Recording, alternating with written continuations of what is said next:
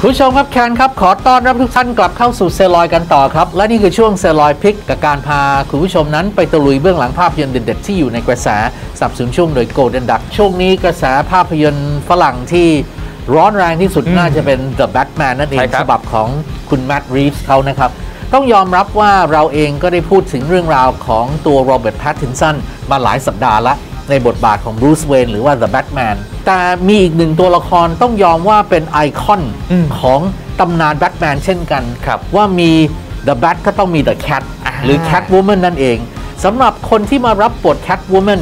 ในฉบับ The Batman ของ Matt Reeves นั้นคนล่าสุดคือ Zoe Kravitz ต้องบอกนะครับว่าเธอคนนี้ครับโซอี้คราวิทเนี่ยเป็นคนมีของแน่อืมๆเพราะว่าคนที่เป็นตัวเลือกที่ต้องแข่งขันกับเธอเนี่ยแต่ละคนไม่ธรรมดานะครับใช่คนแรกนะฮะก็คือแซนซี่บีดครับ ฝากผลงานไว้ทั้งเด p พูภาค 2 แล้วก็เรื่องโจ๊กเกอร์ ส่วนอีกคนหนึ่งก็คืออลิเซีย วิกันเดอร์จาก Tomb Raider ฉบับ reboot นั่นเองครับ แล้วก็ที่แปลกไปกว่านั้นแล้วฟังแล้วก็รู้สึกเออมันก็มีความเป็นไปได้อืมโซอี้เองนั้นเธอเคยให้เสียงพากย์เป็นตัวละครของ Catwoman ในปี 2017 กับแอนิเมชันชื่อ The Lego Batman Movie ที่เคยฉายในบ้านเราครับเค ยให้เสียงมาแล้วคราวนี้มาเล่นเป็นตัวจริงใช่เลยนะฮะแต่เธอก็บอกว่าการจะเล่นไม่ใช่เรื่องง่ายครับเพราะว่าเธอต้องใช้เวลาในการดู footage การเดินการเคลื่อนไหวของแมวแล้วก็สิงโตอืมเพราะว่าพยายามเลียนแบบอิริยาบถของพวกมันให้เหมือนมากที่สุด เวลาแสดงออกมาจะได้เหมือนมากที่สุดด้วยใช่นะครับเอาละครับวันนี้เรามีเบื้องหลังของ The Batman มาฝากกันนะครับติดตามกันเลยในช่วง Celluloid Pick สนับสนุนช่วงโดย Golden Duck ครับ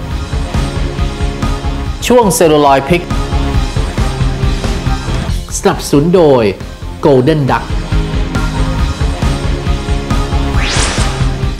The first time I put on this bat suit, there's so much more maneuverability. You could actually jump around, you could crash into stuff. The suit does not make him invincible. It's just a few panels of bulletproof armor, and the rest is how much Bruce believes in it and how much his adversaries are scared of it. I like the handmade nature of everything. You can see the construction. It's an element of showing how do it yourself his version of Batman is. His tactical knife is actually stored as part of his chest plate and is actually his bat logo.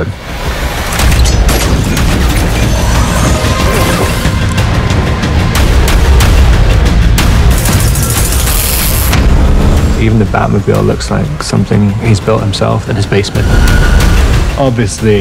it looks pretty cool.